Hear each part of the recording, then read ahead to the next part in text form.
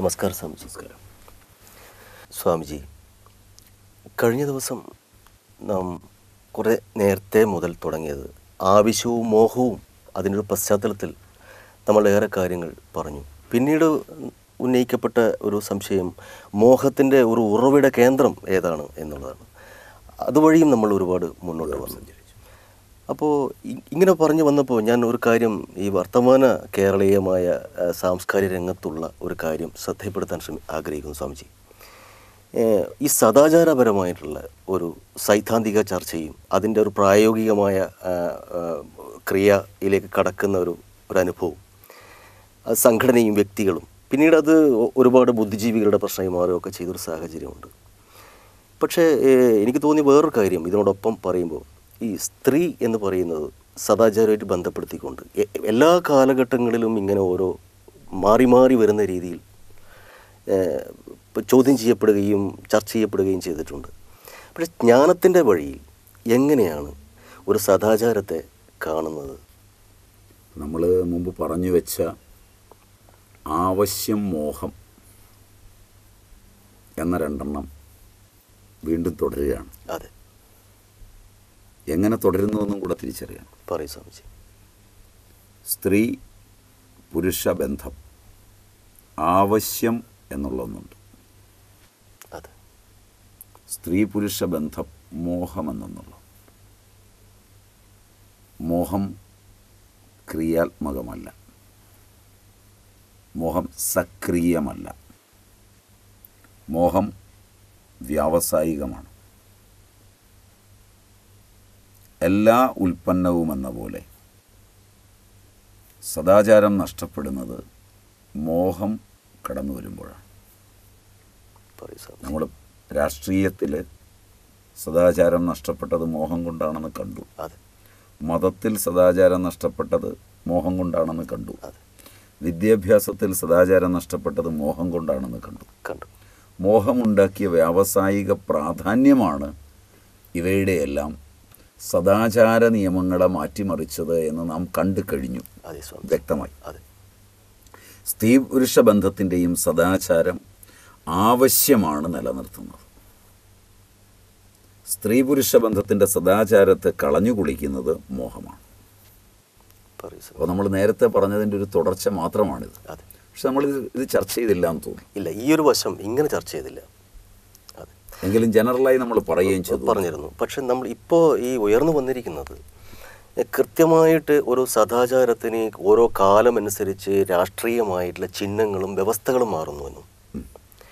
അത് നേരത്തെ ഉണ്ടായിരുന്നത് ഇവിടുത്തെ നമ്മുടെ നവോത്ഥാന കാലം മുതലുള്ള രാഷ്ട്രീയമായ പശ്ചാത്തലത്തിന്റെ പുറത്ത് അന്ന് സ്ത്രീക്ക് സ്ത്രീ പുരുഷ ബന്ധത്തിന് ഒരു സുതാര്യത ഉണ്ടായിരുന്നെന്നും ഇപ്പോൾ അത് നഷ്ടപ്പെട്ടിരിക്കുന്നു എന്നുള്ള രീതിയിലാണ് സദാചാരത്തെ സിദ്ധാന്തവൽക്കരിച്ചുകൊണ്ട് അവതരിപ്പിക്കുന്നത്. അത് പലപ്പോഴും തെറ്റാണ്.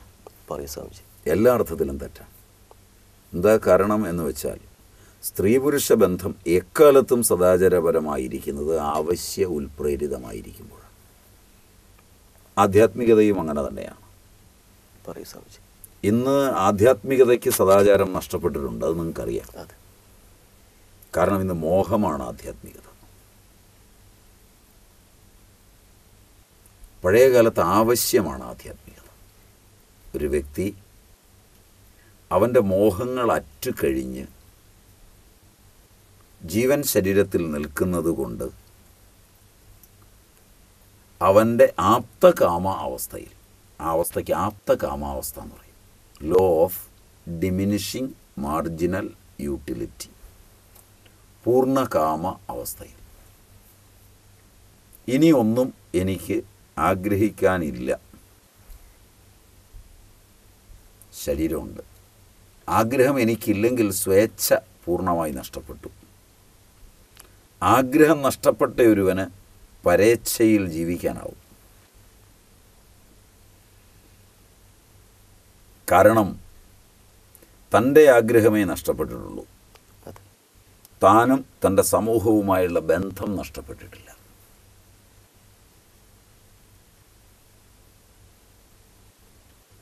ഈ ശരീരം തന്റെതല്ല. അച്ഛനമ്മമാരുടേതാണ്. ഇതിനകത്തെ ഇന്ദ്രിയങ്ങൾക്ക് ശക്തി ഉണ്ടായത് തന്റെയല്ല വിഷയങ്ങളുടേതാണ്. ബുദ്ധി തന്റെയല്ല ആ വിഷയങ്ങളിൽ നിന്ന് രൂപാന്തരപ്പെടുത്തിയെടുത്ത അറിവിനെയാണ് ബുദ്ധി എന്ന് വിളിക്കുന്നത്. തനിക്ക് വെളിയിലുള്ള അറിവുകളുടെ ആഗ്രഹമാണ് തന്റെ ബുദ്ധി. അതെ അതെ അതെ. എനിക്കതറിയാം ഇതറിയാം എന്ന് പറയുന്നതൊന്നും എന്റേതല്ല. അവ ഞാൻ പഠിച്ചതുകൊണ്ടാണ് ബുദ്ധി ആ രീതിയിൽ വികസിച്ച് നിൽക്കുന്നത്. അതെ. അതുകൊണ്ട് ബുദ്ധി എന്നതും ബാഹ്യമാണ്. സങ്കല്പങ്ങളും വികല്പങ്ങളുമാണ് മനസ്സ്. അത് അതുകൊണ്ട് അതും തന്റേതല്ല. തന്റേതല്ലാത്ത ഇന്ദ്രിയങ്ങൾ തന്റേതല്ലാത്ത ബുദ്ധി തന്റേതല്ലാത്ത വിഷയങ്ങൾ തന്റേതല്ലാത്ത ശരീരം.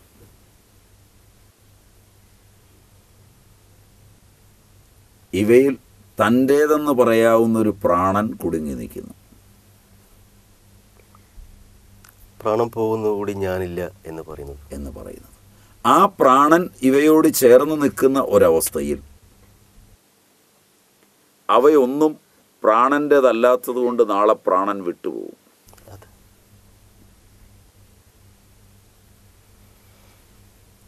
പ്രാണനെ വിടുവിക്കുക എന്ന് പറയുമ്പോൾ അവിടെ നിർബന്ധമുണ്ട് സ്വേച്ഛയുണ്ട്. സ്വേച്ഛ പോയിരിക്കുന്നു. പ്രാണനും ഇവയുമായുള്ള ബന്ധം വിടുവോളം പരേച്ഛാപൂർവകമോ അനിച്ഛാപൂർവകമോ കർമ്മം ചെയ്യാൻ ഒരുങ്ങുന്നിടത്താണ് ആധ്യാത്മികത ആവിർഭവിക്കുന്നത്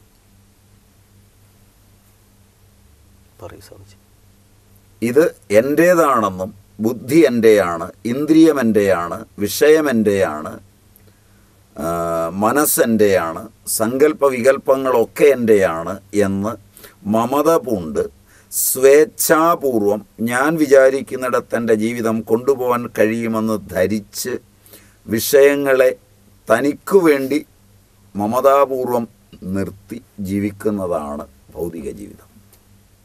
അതെ. കൃത്യമായി മാർക്ക് ചെയ്ത് രണ്ടായി വരയ്ക്കാവുന്നിടത്താണിത്. അതെ. ആ രംഗത്താണ് മൊത്തമുള്ള പ്ലാനിങ് മാനേജ്മെന്റ് സിസ്റ്റം ഒക്കെ വർക്ക് ചെയ്യുന്ന ആ ഏരിയയിലാണ്. അപ്പം അങ്ങനെ വരുമ്പോൾ നമ്മൾ സ്വേച്ഛയിൽ നിന്ന് പരേച്ഛയിലേക്കോ കുറച്ചുകൂടെ കൂടി അനിച്ഛയിലേക്കും. മാറിക്കഴിഞ്ഞാൽ മാത്രമാണ് ആധ്യാത്മികത. അതിനിപ്പുറത്ത് ആധ്യാത്മികതയില്ല. അപ്പോൾ ഇങ്ങനെ വളരെ കൃത്യമായി മാർക്ക് ചെയ്ത് രണ്ടായി തിരിഞ്ഞ് നിൽക്കുമ്പോൾ പരേച്ഛയിൽ ഒരാൾ ജീവിക്കുകയോ അനിച്ഛയിൽ ഒരാൾ ജീവിക്കുകയോ ചെയ്താൽ പ്രകൃതി ആനന്ദിക്കാൻ തുടങ്ങും അയാളുടെ സാന്നിധ്യത്തിൽ. വസന്തം എപ്രകാരമാണോ ലോകഹിതത്തിന് ചരിക്കുന്നത്?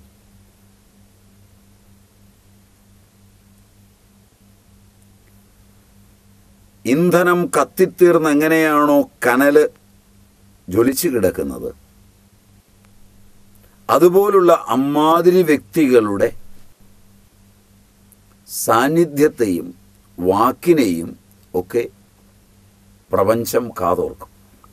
തീർച്ചയായും. കാരണം അത് അയാളുടേതല്ല. മനസ്സിലായി സ്വാമിജി.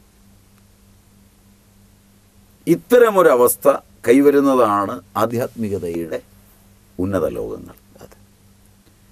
അവരെ ബഹുമാനിക്കുകയും ആദരിക്കുകയും ചെയ്യുന്നത് കാണുമ്പോൾ വ്യക്തിയായ എനിക്ക് അത് ആഗ്രഹം തോന്നും അതെ സ്വേച്ഛയുണ്ട്. സ്വേച്ഛാപൂർവം ഒന്ന് സന്യസിച്ചാൽ എങ്ങനെയാണെന്ന് എനിക്ക് തോന്നും. അതെ. അങ്ങനെയാണ് ഞാനൊക്കെ വരിക. സ്വേച്ഛയുടെ ലോകത്ത് നിന്ന് ആ ബഹുമാനാദരങ്ങളും ആ സൗകര്യങ്ങളും എനിക്ക് വേണം. അപ്പം കൃത്യമായ മാനേജ്മെന്റ് തിയറിയിൽ സ്വയം മോഹിച്ച് അന്യരെ കൃത്യമായി മോഹിപ്പിക്കുവാൻ പാകത്തിന് ഞാനൊരു നയം സ്വീകരിക്കുമ്പോൾ ദുർബലനും അജിതേന്ദ്രിയനുമായ എന്റെ ആഗമനത്തോടുകൂടി അവിടുത്തെ സദാചാര നിയമങ്ങൾക്ക് മാറ്റമുണ്ടാവും.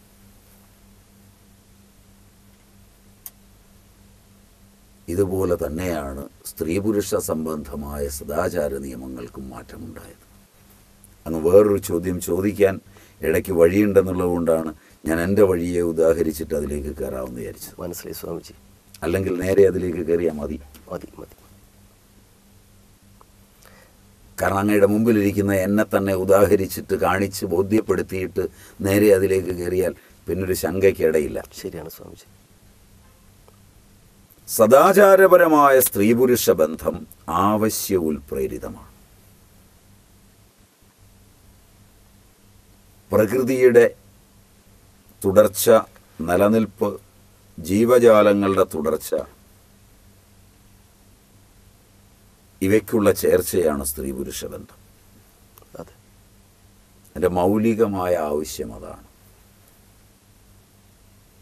ആ മൗലികമായ ആവശ്യത്തിന് സ്ത്രീക്കും പുരുഷനും ജീവശാസ്ത്രപരമായ ഒരു ആവശ്യമുണ്ടാവണം അത് മോഹമാവരുത് അതെ ജീവശാസ്ത്രപരമായ ഒരു ആവശ്യം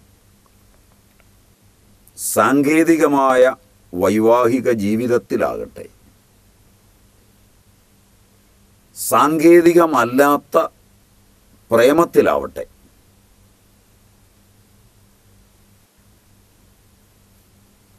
രണ്ടും സദാചാരപരമാണ്. ഇപ്പോൾ ഈ മൊത്തം കാര്യങ്ങൾ ഇത് മനുഷ്യന് വേണ്ടി മാത്രമാണ്. അല്ല ലോകത്തിലുള്ള എല്ലാ സ്ത്രീ പുരുഷ സംഭാവനയെയും ചേർത്ത് വെച്ച ഞാൻ ആദ്യത്തത് പറഞ്ഞത്. അതെ അതെ. പ്രകൃതിയിൽ ഒരു പട്ടിക്ക് അതിന്റെ വംശാവലിയെ നില നിലനിർത്തണമെങ്കിൽ ഒരു പട്ടിയും നായും തമ്മിൽ ബന്ധപ്പെടണം. ഈ നാട്ടുകാർ പട്ടി എന്നുള്ളത് കോമൺ ജെൻഡറായിട്ടാണ് ഉപയോഗിക്കുന്നത്. വടക്കോട്ട് പോയാൽ പട്ടി എന്നത് സ്ത്രീലിംഗവും നായ എന്നത് പുല്ലിംഗവുമാണ്. അങ്ങനെ വ്യത്യാസപ്പെട്ട അറിയുമോ എനിക്കറിയില്ല. സ്വാമിജി. ഞാൻ ആദ്യമായിട്ട് കേൾക്കുന്നത്. ഇവിടെയൊക്കെ പട്ടിച്ചി എന്നൊക്കെ പറയാം സ്ത്രീലിംഗത്തിന്. അപ്പം അതിലൊരു പട്ടി അത് സ്ത്രീലിംഗമായി എടുക്കുക തൽക്കാലം. മനസ്സിലായി. നായ പുരുഷലിംഗമായി എടുക്കുക. അത് രണ്ടും തമ്മിലുള്ള പ്രേമപ്രഹർഷത്തിലും അത് തമ്മിലുള്ള വിശ്വാസത്തിലും അത് തമ്മിലുള്ള ചേർച്ചയിലുമാണ് അതിന്റെ വംശാവലി നിലനിൽക്കുന്നത്. അതെ. തീർച്ചയാണ്. തീർച്ചയാണ്. ആനയിലും അതെ. കടുവയിലും അതെ പുലിയിലും അതെ മനുഷ്യനിലും അതെ. അവിടെ വ്യത്യാസങ്ങളൊന്നുമില്ല. പ്രപഞ്ച നിർദ്ധാരണത്തിൽ നിലനിൽക്കുന്നത് ഇങ്ങനെയാണ്. ആ നിലനിൽക്കുന്നതിന് ഈ ജീവജാലങ്ങളുടെയൊക്കെ തലങ്ങൾ കടന്ന ജനിതക പരിണാമം വന്ന മനുഷ്യരിൽ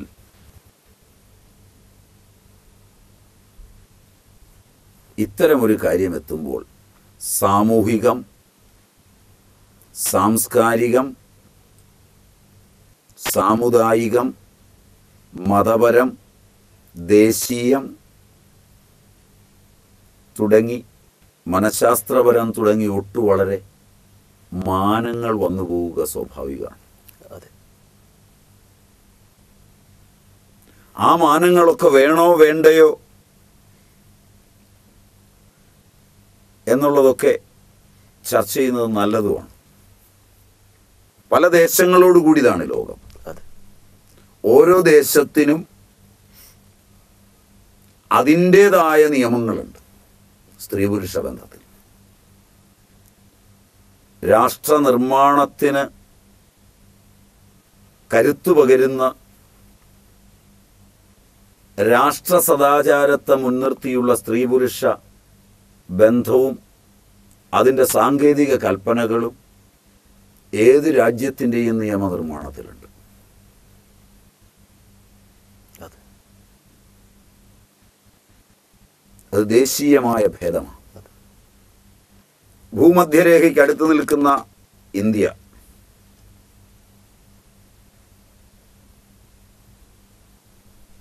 ഭൂമധ്യരേഖയ്ക്ക് അടുത്തെങ്കിലും ഒട്ടേറെ കുടിയേറ്റങ്ങൾ നടന്ന ചൂഷണം നടന്ന ആഫ്രിക്ക. കുടിയേറ്റക്കാർ മാത്രം താമസിക്കുന്ന ദേശീയതയില്ലാത്ത അമേരിക്ക. മനസ്സിലായി സ്വാമിജി.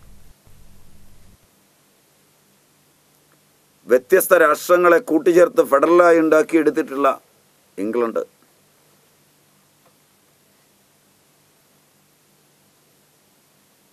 ഫ്രാൻസ് ജർമ്മനി മുതലായ രാജ്യങ്ങൾ. ചൈന ജപ്പാൻ തുടങ്ങിയ രാജ്യങ്ങൾ ഇങ്ങനെ ഒട്ടു വളരെ രാജ്യങ്ങളുണ്ട്. അതെ. അവയുടെയെല്ലാം ദേശീയ തലത്തിലുള്ള പാരമ്പര്യത്തിനനുസൃതമായി സ്ത്രീ പുരുഷ ബന്ധത്തിന് നിർവചനങ്ങളുണ്ട്. ഇത് വെറും ബയോളജിക്കൽ നെസിറ്റി അല്ല. മനസ്സിലായി സ്വാമിജി. അവിടുത്തെ ചില സ്വാതന്ത്ര്യങ്ങളെ എടുത്ത് മറ്റൊരു ദേശത്ത് വിളമ്പുമ്പോൾ അത് തന്നെ ഒരു സദാചാര ലംഘനമാണല്ലേ സ്വാമിജി? തീർച്ചയായും.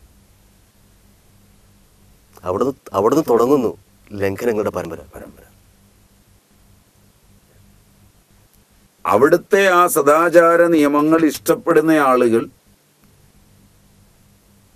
ഭൂരിപക്ഷം ഇല്ലാതിരിക്കുന്ന ഒരു കാലത്ത് അവർ അവിടെ പോയി ജീവിക്കുന്നത് ഉചിതവും മര്യാദാമസൃണവുമാണ്. അവരുടെ വ്യക്തിപരമായ സ്വാതന്ത്ര്യത്തിനു വേണ്ടി ദേശീയ സംസ്കൃതികളെ മാറ്റിമറിക്കുന്നത് ഹിംസാത്മകമാണ്. സദാചാര വിരുദ്ധം തന്നെയാണ്.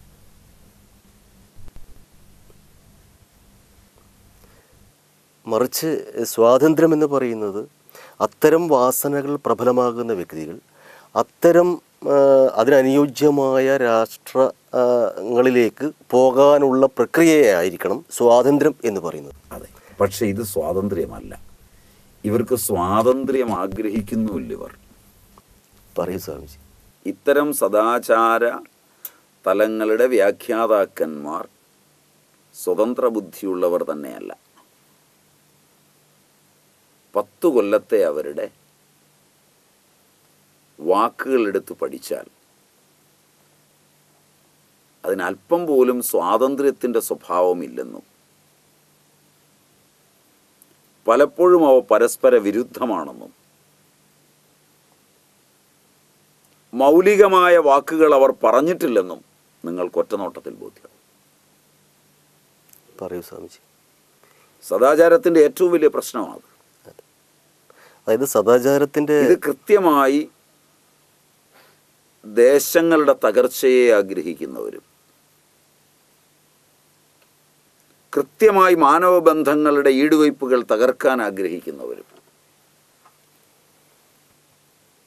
ആയ ആളുകൾ ലോകമെമ്പാടും ഉണ്ടായിരിക്കെ ഭീകരരും കച്ചവടക്കാരുമായ അവരുടെ താല്പര്യത്തിനനുഗുണമായ ബുദ്ധിജീവികളെന്ന് അവർ കൃത്യമായി രൂപപ്പെടുത്തിക്കൊണ്ടുവന്നവരെ കൊണ്ട് നടത്തുന്ന കസർത്തുകളാണ്. ആധ്യാത്മിക തലങ്ങളിൽ ബൗദ്ധിക തലങ്ങളിൽ സാംസ്കാരിക തലങ്ങളിൽ സാഹിത്യ തലങ്ങളിൽ ഒക്കെ ഇന്ന് ഇന്റർനാഷണലായി